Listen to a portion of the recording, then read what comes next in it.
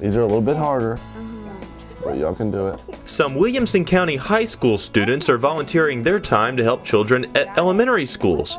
It's part of a program called Service Learning.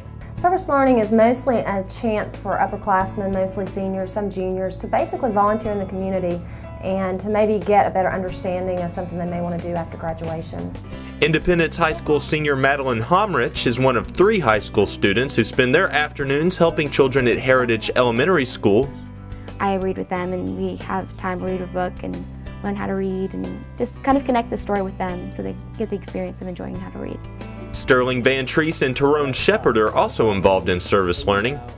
They say it's been a joy watching the students progress. It's only been a couple months and I've seen just working with them that they catch on to stuff a lot a lot easier. I love it.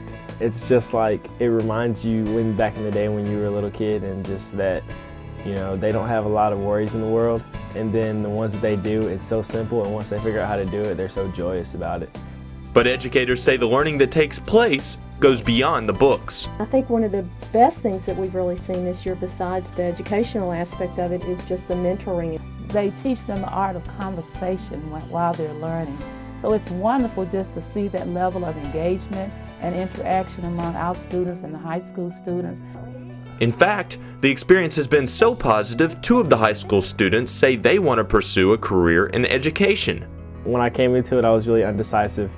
Uh, do I want to do this with children or do I not want to be in a school? Do I want to be a counselor or something like that? And now I know that I love being in the classroom. I'm so excited to go to college now. I definitely know this is what I want to get into.